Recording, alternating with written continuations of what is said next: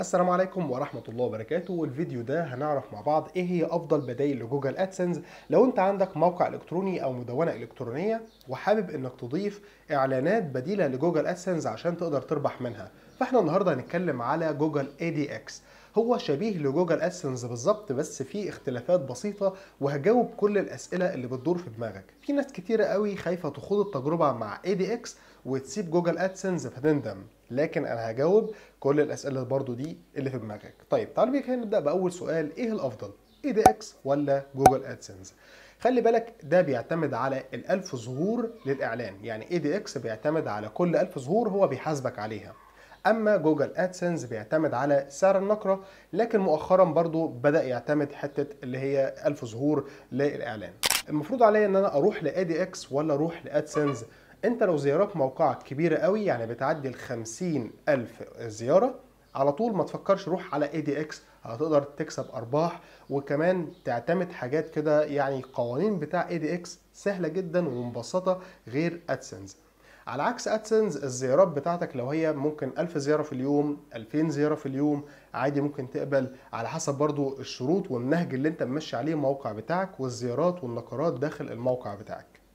طيب دلوقتي أروح برضو ال AdX ولا AdSense وإيه اللي هي مميزات الاثنين المميزات في الاثنين إن هم بيعرضوا نفس الإعلانات عادي جدا لكن الفرق بين AdX و Google AdSense AdSense بيعتمد على الشبكات الإعلانية أما AdX بيعتمد على بورصة إعلانية. خلي بالك كده قبل ما نبدأ شرحنا حابب أقول لك انضم لل group اللي هسيبه لك في الرابط الموجود في التعليقات أو الوصف group الفيسبوك لخبراء Google AdX partner أو Google AdSense وكمان هتلاقي فيها خبراء عن ال SEO طب أنا زيارات الموقع بتاعي بتجيلي من الدول العربية. لا خليك في Google AdSense زي ما أنت لأن AdX بيحب الزيارات الأجنبية.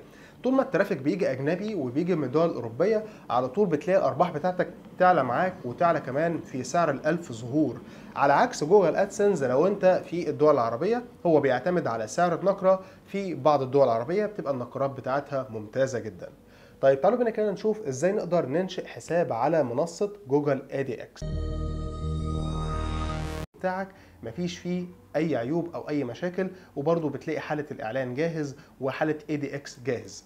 طيب آه عفوا حالة ads.txt تمام؟ فأنا دلوقتي هنشئ حساب على منصة AdX كل عليك بس بتكتب هنا على جوجل AdX أو بتخش تزور الرابط اللي موجود في التعليقات أو الوصف. على طول الرابط ده هيفيدك برضو معلومات أكتر أنا ما قلتهاش في الفيديو على AdX دلوقتي بتروح عندك على جوجل Ad Manager هي برضو نفس AdX عادي جدا. اضغط عليها ضغطة كده وبعد كده بتضغط عندك على كلمة get started زي ما انت شايف. هضغط عليها وبعد كده بتختار أول حاجة بقول لك هنا هل انت بتستخدم ال AdX أو هتستخدمه؟ علشان ترفع عليه تطبيق ولا موقع إلكتروني يفضل إنك طبعا تختار موقع إلكتروني. بعد كده بتضغط عندك على كلمة continue. ومن هنا بتختار ال blogs بتاعك. هنا مثلا بختار المحتوى بتاعتك أو ال content بتاعك فأنت هتختار مثلا ال blogs وبعد كده بتروح عندك على اختيار الموقع بتاعك. طبعا بختار هنا في أفريقيا. بعد كده بختار عندي فوق هنا أطلع تاني معلش. أول حاجة بختار بيقول لك عدد الزيارات بتاعتك مثلا من صفر لمليون زيارة.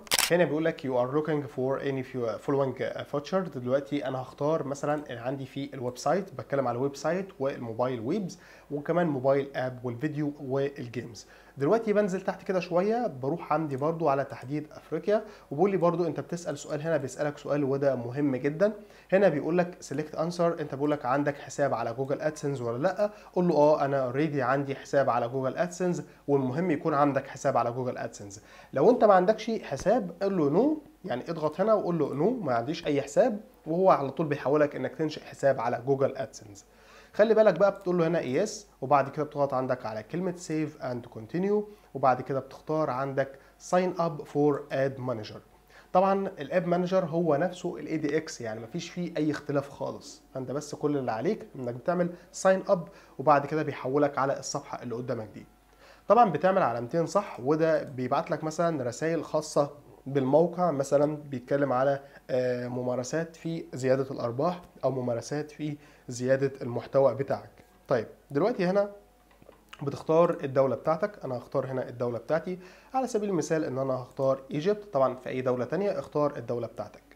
هنا بيقول لي العملة بختارها بإيه؟ يفضل إنك تختارها بالدولار الأمريكي لأن أي تعاملات من مجال الربح من الإنترنت يفضل استخدامها بالدولار الأمريكي علشان ما يحصلكش أي مشاكل. كده كده بقى أنت بتنشئ حساب في البنك وبيتحول من دولار لجنيه أو بيتحول من دولار دولار لريال.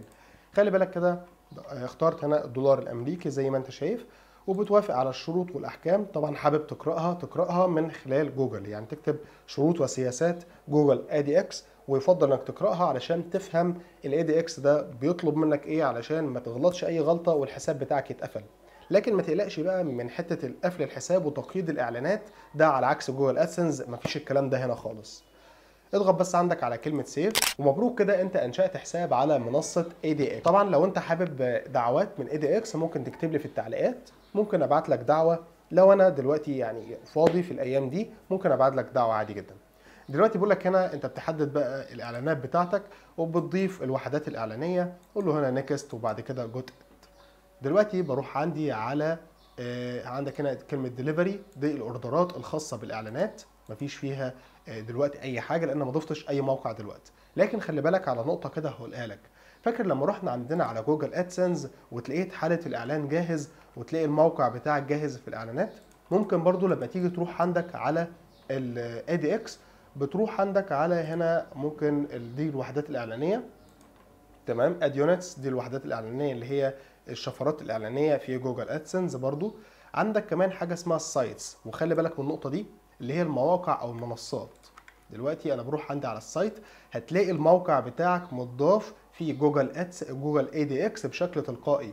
يعني زي ما أنت شايف كده أدي جوجل ادسنس هنا أهو برضو بتضيف هنا جوجل AdX سيب الاثنين عادي جدا وتقوم أنت بس رايح عندك على الوحدة الإعلانية وبتبدأ تضيف الوحدات الإعلانية. على سبيل المثال إن أنا هختار هنا عندي new ad unit اللي هي اختيار وحدة إعلانية جديدة.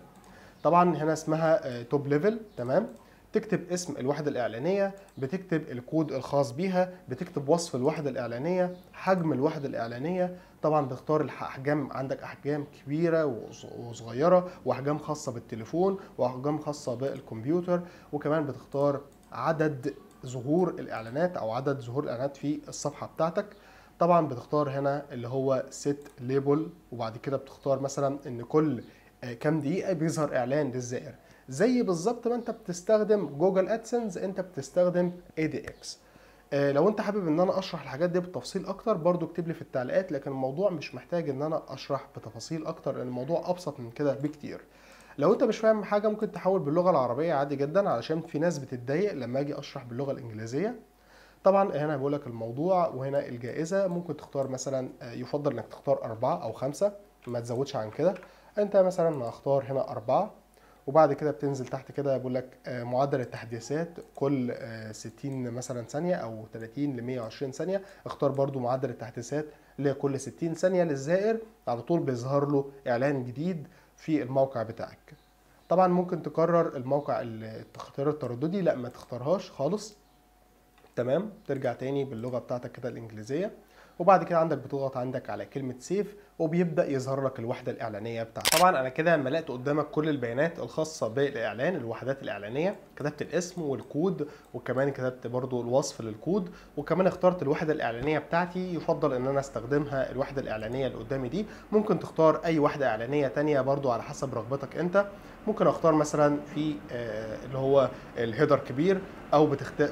أو بتختار مثلا إعلان على شكل مربع بعد كده بتنزل تحت وتقول له هنا save طيب دلوقتي أنا عايز الشفرة الإعلانية أجيبها منين؟ كل اللي عليك بس بتروح عندك على ad unit تاني وبعد كده بتروح عندك على اختيار اللي هو اسم الإعلان اللي أنت كتبته. أنا كتبته باسم إعلان header تمام؟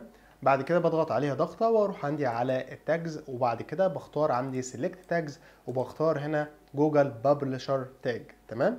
بعد كده بختار هنا continue وبتنزل تحت قول له هنا continue وبعد كده بيظهر لك بقى الشفرة الإعلانية دي تحطها بقى في ال header وعندك هنا دي في ال body عايز تعمل copy هنا و copy هنا وبرده بتروح عندك على ال WordPress أو بتروح عندك على Blogger وتضيف الشفرة الإعلانية. وبالتالي برضه هيظهر لك الإحصاءات داخل الموقع بتاعك.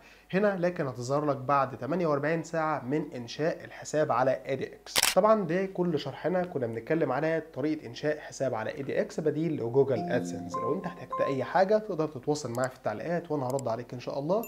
دمتم بخير. مع السلامة.